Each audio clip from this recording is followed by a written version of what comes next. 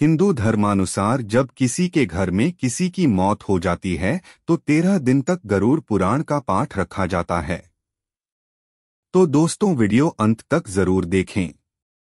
शास्त्रों अनुसार कोई आत्मा तत्काल ही दूसरा जन्म धारण कर लेती है। किसी को तीन दिन लगते हैं, किसी को दस से तेरह दिन लगते हैं, और किसी को सवा माह लगते हैं। लेकिन जिसकी स्मृति पक्की, मोह गहरा या अकाल मृत्यु मरा है तो उसे दूसरा जन्म लेने के लिए कम से कम एक वर्ष लगता है।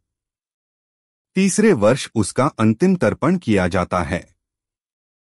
फिर भी कई ऐसी आत्माएँ होती हैं, जिन्हें मार्ग नज़र नहीं आता है, और वे भटकती रहती हैं।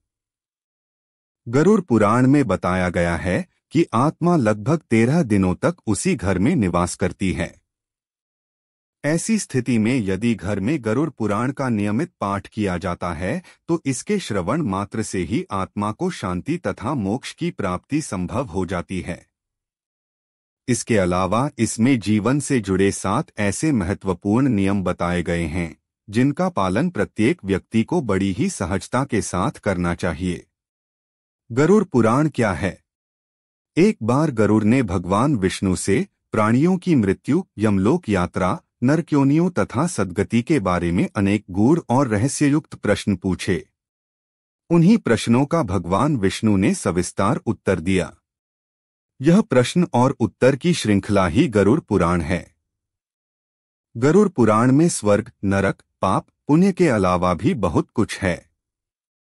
उसमें ज्ञान, विज्ञान, नीति, नियम और धर्म की बातें हैं। गरुड़ पुराण में एक ओर जहाँ मौत का रहस्य है, जो दूसरी ओर जीवन का रहस्य छिपा हुआ है। गरुड़ पुराण से हमें कई तरह की शिक्षाएँ मिलती हैं। गरुण पुराण में मृत्यु के पहले और बाद की स्थिति के बारे में बताया गया है। यह पुराण भगवान विष्णु की भक्ति और उनके ज्ञान पर आधारित है। प्रत्येक व्यक्ति को यह पुराण पढ़ना चाहिए। गरुड़ पुराण हिंदू धर्म के प्रसिद्ध धार्मिक ग्रंथों में से एक है।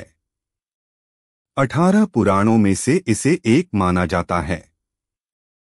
गरुड़ पुराण में हमारे जीवन को लेकर कई गूढ़ बातें बताई गई है, जिनके बारे में व्यक्ति को ज़रूर जानना चाहिए। क्यों सुनाते हैं इसे मृत्यु के बाद? एक गरुण पुराण में मृत्यु के पहले और बाद की स्थिति के बारे में बताया गया है। इसीलिए यह पुराण मृतक को सुनाया जाता है। दो तेरह दिनों तक मृतक अपनों के बीच ही रहता है। इस दौरान गरुड़ पुराण का पाठ रखने से वह स्वर्गनरक, गति, सदगति, अधोगति, दुर्गति आदि तरह की गतियों के बारे में जान लेता है। तीन आगे की यात्रा में उसे किन किन बातों का सामना करना पड़ेगा? कौन से लोक में उसका गमन हो सकता है, यह सभी वह गरुड़ पुराण सुनकर जान लेता है। चार, जब मृत्यु के उपरांत घर में गरुड़ पुराण का पाठ होता है तो इस बहाने मृतक के परिजन यह जान लेते हैं कि बुराई क्या है और सदगति किस तरह के कर्मों से मिलती है, ताकि मृतक और उसके परिजन दोनों ही यह भली भांति जान लें कि उच्च लोक की यात्रा करने के लिए कौन से कर्म करना चाहिए। पाँच गरुड़ पुराण हमें सत्कर्मों के लिए प्रेरित करता है। सत्कर्म और सुमति से ही सदगति और मुक्ति मिलती है।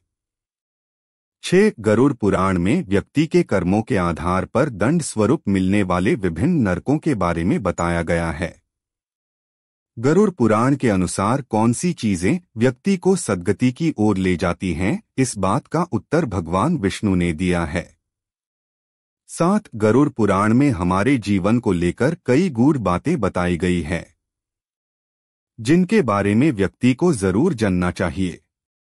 आत्मज्ञान का विवेचन ही गरुड़ पुराण का मुख्य विषय है।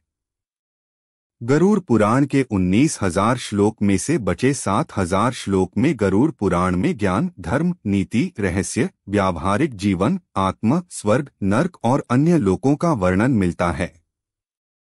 आठ, इसमें भक्ति, ज्ञान, वैराग्य, सदाचार, निष्काम कर्म की महिमा के साथ, यज्ञ, दान, तप, तीर्थ आदि शुभ कर्मों में सर्व साधारण को प्रवृत्त करने के लिए अनेक लौकिक और पारलौकिक फलों का वर्णन किया गया है। यह सभी बातें मृतक और उसके परिजन जानकर अपने जीवन को सुंदर बना सकते हैं।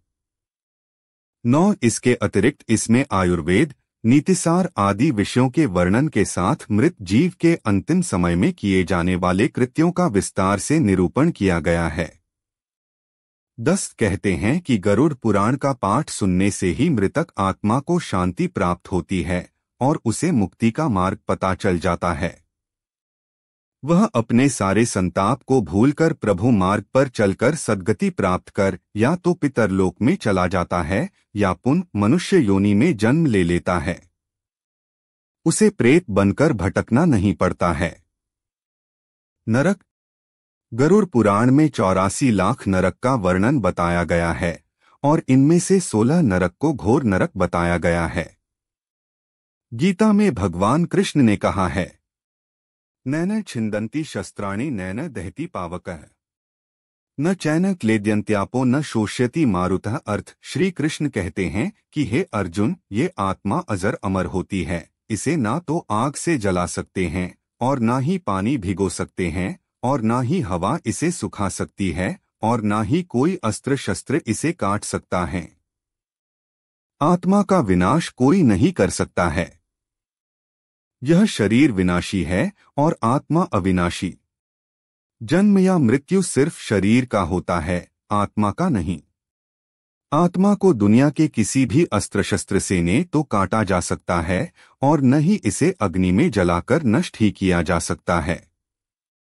यहाँ भगवान श्री कृष्ण के कहने का तात्पर्य यह है कि मानव जिसे जन्म या मृत्यु समझता है, वास्तव में ऐसा कुछ भी नहीं होता है। जन्म या मृत्यु सिर्फ़ इस नश्वर शरीर का होता है। आत्मा तो जन्म मृत्यु से परे है। आत्मा अजरमर और शाश्वत होती है। विरोधाभास कहा? गरुड़ पुराण के अनुसार यमदूत मृतक को वैतरणी नदी पार करवाते हैं, रास्ते में यातनाएँ देते जाते हैं। फिर नर्क में उन्हें उनके कर्मानुसार सजाएँ दी जाती हैं। या फिर चित्रगुप्त उनके अच्छे कर्मों के अनुसार स्वर्ग में भेज देते हैं। इस्लाम में इसे जन्नत और दोजक कहा गया है। अंग्रेज़ इसे हैल और हैवन कहते हैं। प्रश्न उठता है कि जब मृत्यु के पश्चात शरीर को जला दिया जाता है या दबा दिया जाता है या उसका किसी अस्पताल में देह दान हो जाता है तो उसे नर्क में गर्म तेल में तला कैसे जाता है, बेहोश होने तक पीटा कैसे जाता है आग में जलाया कैसे जाता है, शारीरिक यातनाएँ कष्ट कैसे दिए जा सकते हैं? स्वर्ग, नर्क पर आधारित काफ़ी समय पहले बड़े बड़े कैलेंडर करनी भरनी के नाम से आते थे, जिसमें नर्क की यातनाओं का बखूबी चित्रांकन किया जाता था। यहाँ गरुड़ पुराण तथा गीता में परस्पर विरोधाभास है। क्या सचमुच स्वर्ग या नर्क हैं? या कपोल कल्पना विज्ञान सारा यूनिवर्स खोज चुका है। कहीं कुछ नहीं मिला। वास्तव में हमारे ग्रंथों में यह सब कुछ समाज को सही रास्ते पर चलने के लिए नर्क आदि का भय दिखाकर समझाने का प्रयास किया जाता है ताकि हम अच्छे कर्म करें। अधिकांश विद्वानों का मत है कि हमें अच्छे या बुरे कर्मों का फल इसी जीवन में मिल जाता है। यदि इस जन्म में नहीं मिलता तो अगले जन्म में अवश्य मिलता है। इस बात का साक्ष्य है पुनर्जन्म। ऐसे कितने ही जीवंत उदाहरण हैं, जिसमें जन्म के कुछ दिनों बाद बच्चे पिछले जन्म के माँ बाप के पास जाने की जिदत करने लगे या अपने पिछले जन्म का हाल बतान लगे जो बिल्कुल सही निकले थे। पुनर्जन्म की वास्तविक घटनाओं का विवरण केवल भारत में ही नहीं, अपितु पूरे विश्व में मिलता है। गीता की इस अवधारणा पर विश्वास और दृढ़ हो जाता है कि शरीर नश्वर है, मरणोपरांत आत्मा अपने कर्मानुसार एक शरीर से दूसरे शरीर में प्रवेश कर जाती है। यहाँ चौरासी लाख योनियों की परिकल्पना भी सार्थक लगती है कि पशु, पक्षी या अन्य जीव जंतुओं में भी आत्मा होती है। क्या कहता है ज्योतिष शास्त्र ज्योतिष शास्त्र में पिछले जन्म तथा अगले जन्म के विषय में बिल्कुल स्पष्ट है। कुंडली का पंचम भाव पिछले जन्म के कर्मों की व्याख्या करता है तो बारहवा भाव अगले जन्म की बात करता है।